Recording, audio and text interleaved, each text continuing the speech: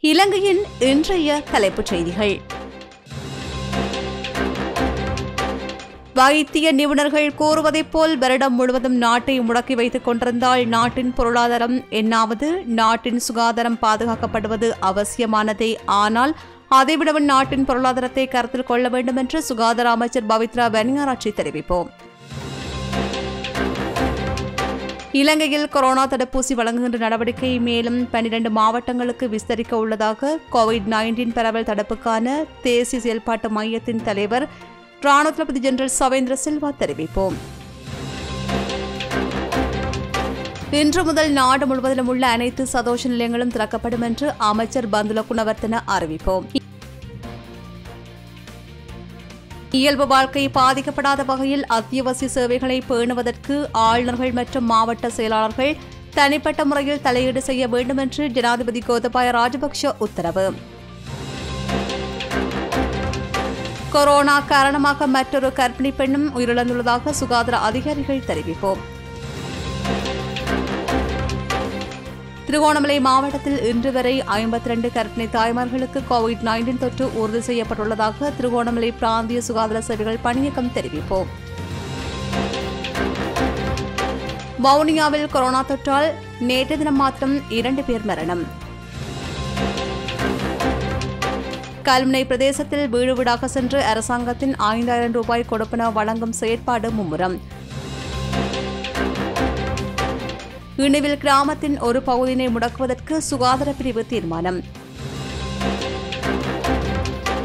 Covid nineteen தொற்றுக்கு எதிரான ஸ்னோஃபார்ம் தடுப்பூசிகள் ஜூன் எட்டாம் தேதி முதல் நுவரலியா மாத்தளை கேகாலை திருகோணமலை ஹம்பாந்தோட்டை அம்பாறை பதுளை மட்டக்களப்பு முனராகலை அனுராதபுரம் புத்தளம் மற்றும் புலனர்வு ஆகிய மாவட்டங்களில் செலுத்தப்பட உள்ளதாக அறிவிப்போம் தேசிய சுதந்திர முன்னணியின் தலைவரும் கைத்தொழில் அமைச்சருமான விமல் வீரவங்ஷ ரஷ்யாவிற்கான உத்தியோக விஜயம் ஒன்றினை மேற்கொண்டுள்ளார். கோவிட் வைரஸ் வேகமாக பரவி வருகின்ற நாடுகளிலிருந்து சுற்றுலா பயணிகளை அழைத்து வர வேண்டாம் என்று சிரேஷ்ட பேராசிரியர் அர்ஜுன் அடி சில்வா அரசாங்கத்திடம் கோரிக்கை. இலங்கையில் மேலும் எழுநூற்று முப்பத்தி எட்டு கொரோனா தொற்று உறுதிப்படுத்தப்பட்டுள்ளதாக ராணுவ தளபதி ஜெனரல் சவேந்திர சில்வா தெரிவிப்பு. இதற்கமைய இன்று வரையில் மூவாயிரத்து முன்னூற்று ஆறு பேருக்கு கொரோனா தொற்று உறுதி. யாழ்ப்பாண மாவட்டத்தில் இன்று பனிரெண்டாயிரத்துக்கும் மேற்பட்ட குடும்பங்களுக்கு ஐந்தாயிரம் ரூபாய் கொடுப்பினவு வழங்கப்பட்டதாக யாழ் மாவட்ட அரசு அதிபர் மகேஷன் தெரிவிப்போம் கல்முனை பிரதேசத்தில் நுகர்வோர் பாதுகாப்பு சட்டத்தை மீறி கூடுதலான விலைக்கு உரம் விற்பனை செய்த மற்றும் பதுக்கி வைத்திருந்த வர்த்தக நிலையம் பாவனையாளர் அலுவல்கள் அதிகார சபையின் புலனாய்வு உத்தியோகத்தர்களால் முற்றுகை. கண்டி பல்லேகல முதலீட்டு ஊக்குவிப்பு வலயத்திலுள்ள ஆடை தொழிற்சாலை ஒன்றில் பணிபுரிந்த எழுபத்தி நான்கு தொழிலாளர்களுக்கு திடீர் சுயினம் ஏற்பட்டு மெரிக்கென்ன வைத்தியசாலையில் அனுமதிக்கப்பட்டுள்ளதாக மத்திய மாகாண சுகாதார சபைகள் பணிப்பாளர் நாயகம் தெரிவிப்போம். இலங்கையில் கடலில் மூழ்கி வருகின்ற எம்பி எக்ஸ்பிரஸ் பேர்ட் கப்பலால் பாரிய எண்ணெய் கசிவு உட்பட பெரும் சுற்றுச்சூழல் அபாயம் ஏற்பட்டுள்ளதாக அனைத்துலக கடற்சூழலியல் அமைப்புகள் எச்சரிக்கை. பாணந்துறையிலிருந்து கொழும்பு ஊடாக கொச்சிக்கடை வரையான கடற்கரை பிரதேசத்தில் உள்ள அனைத்து மீனவர்களின் படகுகளையும் அகற்றுமாறு மாவட்ட உதவி பணிப்பாளர்களுக்கு மீன்வள திணைக்களம் அறிவுறுத்தல். இலங்கை கடல் எல்லைகளின் பாதுகாப்பை உறுதி செய்வதற்கு கோதா மஹிந்த அரசாங்கம் தவறியுள்ளதாக மக்கள் விடுதலை முன்னணியின் பிரச்சார செயலாளர் விஜித ஹேரத் குற்றச்சாட்டு. கிளிநொச்சி தருமபுரம் போலீஸ் பிரிவுக்கு உட்பட்ட விஸ்வமடு குமாரசுவாமிபுரம் பகுதியில் முதியவர் ஒருவர் சடலமாக மீட்போம் அவிசாவளைக்கு அருகிலுள்ள பாதுகாப்பு சுகாதார பிரிவிற்குள் நூற்று பதினான்கு பேருக்கு கொரோனா தொற்று உறுதி. இலங்கையில் பதிவு திருமணங்களுக்கான கட்டணம் அதிகரிக்கப்பட்டுள்ளதாக அறிவிக்கப்பட்டுள்ளது. பொது திருமண பதிவு சட்டத்தின் அடிப்படையில் ஜூன் முதலாம் தேதி முதல் அமலாகும் வகையில் இந்த தீர்மானம் எடுக்கப்பட்டுள்ளதாக பதிவாளர் நாயகம் அலுவலகம் தெரிவிப்போம். கொரோனா நோயாளிகள் இருக்கின்ற வீடுகளுக்கு சென்று அவர்களுக்கு சிகிச்சை அளிக்கும் செயற்பாட்டில் ஈடுபட்டு வந்த போலி வைத்தியர் ஒருவர் கொழும்பு மாவட்டத்தின் கெஸ்பவ பிரதேசத்தில் கைது. இலங்கை அரசு கூட்டு தாபனத்திற்கு மாத்திரம் இலங்கையில் கோவிட் தடுப்பூசியை பெற்றுக்கொள்ளும் ஆற்றல் உண்டு. தனியார் நிறுவனங்களுக்கு தாம் நினைத்தவாறு இதை பெற்றுக்கொள்ள முடியாது என்று ராஜாங்க அமைச்சர் விசேட வைத்தியர் பேராசிரியர் சன்ன ஜேசுமன திட்டவட்டம்.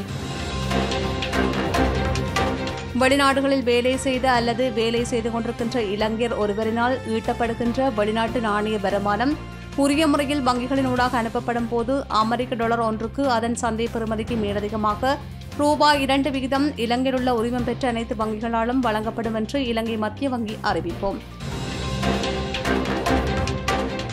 பணத்தினால் மதிப்பீடு செய்ய முடியாத அளவிற்கு பாதிப்பு ஏற்பட்டுள்ளது. பல வருட காலத்திற்கு நீடிக்கவுள்ள இந்த பாரிய சூழலியல் சேதத்திற்கு உரிய அமைச்சரும் அரசாங்கமுமே பொறுப்பேற்க வேண்டும் என்று மக்கள் விடுதலை முன்னணி சாடல். தனிமைப்படுத்தல் விதிமுறைகளை மீறிய குற்றச்சாட்டில் இருபத்தி நான்கு மடத்தியாளங்களில் ஆயிரத்து முப்பத்து எட்டு பேர் கைது. கொரோனா வைரஸின் தாக்கத்திலிருந்து தங்களையும் நாட்டு மக்களையும் பாதுகாப்பதற்காக தடுப்பூசி ஏற்றிக் கொள்ளுமாறு அகில இலங்கை ஜாமியத்தில் உலமா சபை முஸ்லிம் மக்களிடம் வலியுறுத்தல். புதிய நாடாளுமன்ற உறுப்பினர்களுக்கு வாகனங்களை வழங்குவதற்கான அமைச்சரவை முன்மொழிவு. நாடாளுமன்ற உறுப்பினர்களின் வேண்டுகோளின் பேரில் செய்யப்படவில்லை என்று பொதுஜன பிரமண நாடாளுமன்ற உறுப்பினர் வசந்தயாபா பண்டாரா தெரிவிப்போம். இந்தியாவிலிருந்து யாழ்ப்பாணத்திற்கு கஞ்சா கடத்தி வந்த நபர் மாதகள் கடற்பரப்பில் வைத்து கைது. இலங்கையில் உருவாகியுள்ள மூன்றாவது அலையில் தொன்னூற்றெட்டு வீதமான பகுதிகள் சிவப்பு வலயமாக மாறியுள்ளது என்றும் இது ஆபத்தான நிலையமாகும் என்றும் அரசு மருத்துவ அதிகாரிகள் சங்கத்தின் மத்திய குழு உறுப்பினர் வைத்தியர் வாசன் ரத்னசிங்கம் தெரிவிப்போம் போலீஸ் ஆட்சியம் சோடித்த குற்றச்சாட்டில் கைது செய்யப்பட்ட குற்றப்புலனாய்வு திணைக்களத்தின் முன்னாள் பணிப்பாளர் சானி அபேசகர் உள்ளிட்ட மூன்று பேரும் மீண்டும் விளக்கமறியலில். பயண கட்டுப்பாடு காலப்பகுதியில் வியாபார நிலையங்களை திறந்து வியாபார நடவடிக்கையில் ஈடுபட்ட வியாபாரிகள் தொடர்பில் போலீசாரின் விசாரணைகள் ஆரம்பம். திருகோணமலை பாலையூற்று பகுதியில் தனிமைப்படுத்தப்பட்ட கோயிலடி பிரதேசத்தில் உலர் உணவுப் பொருட்கள் வழங்கும் போது குழப்ப நிலை. அம்பாறை மாவட்டம் பெரிய நீலாவணி கிராமத்தில் நேற்று மேற்கொள்ளப்பட்ட கொரோனா பரிசோதனையின் போது ஒருவருக்கு கொரோனா தொற்று உறுதி. திருகோணமலை மூதூர் தள வைத்தியசாலை சுகாதார கழிவுகள் அனைத்தும் வைத்தியசாலைக்கு பின்புறமாக எரிக்கப்படுவதால் வைத்தியசாலையை சுற்றியிருப்போர் மிகவும் பாதிக்கப்பட்டு வருவதாக அந்த பகுதி மக்கள் விசனம். வவுனியாவில் பயண கட்டுப்பாடு நேரத்தில் வீடுகளுக்கு சென்று பொருட்களை வழங்குவதற்கான அனுமதியை முறைகேடாக பயன்படுத்திய பத்து வர்த்தகர்களுக்கு எதிராக சுகாதார பிரிவினரால் சட்ட நடவடிக்கை.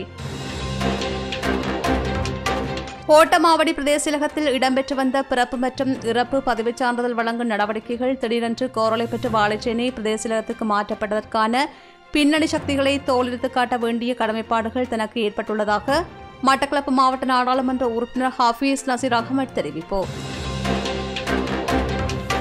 யாழ்ப்பாணம் குடாநாட்டில் திருட்டினை கட்டுப்படுத்த போலீசாரால் சுற்றுக்காவல் நடவடிக்கையை முன்னெடுப்போம். இந்த அரசாங்கம் தொடர்ந்தும் தமிழ் பேசும் இளைஞர்களை கைது செய்து கஷ்டத்திற்குள் தள்ளிவிடுகின்றது என்று தமிழ் தேசிய கூட்டமைப்பின் மட்டக்களப்பு மாவட்ட நாடாளுமன்ற உறுப்பினர் இரா சாணக்கின் தெரிவிப்போம் இலங்கை கடலில் தீப்பரவலுக்கு உள்ளான எம்பி எக்ஸ்பிரஸ் வேர்ல்ட் கப்பலுக்கு இழப்பீடாக நூறு மில்லியன் செலுத்தப்பட்டாலும் சுற்றுச்சூழலுக்கு ஏற்பட்ட சேதத்தை மீட்டெடுக்க முடியாது என்று சுற்றுச்சூழல் அமைச்சர் மகிந்த அமரவீர கருத்து. இத்துடன் இலங்கையின் இன்றைய தலைப்புச் செய்திகள் நிறைவு பெறுகின்றன. தொடர்ந்தும் விரிவான செய்திகளை அறிந்து கொள்ள சமூகம் செய்திகளோடு இணைந்திருங்கள்.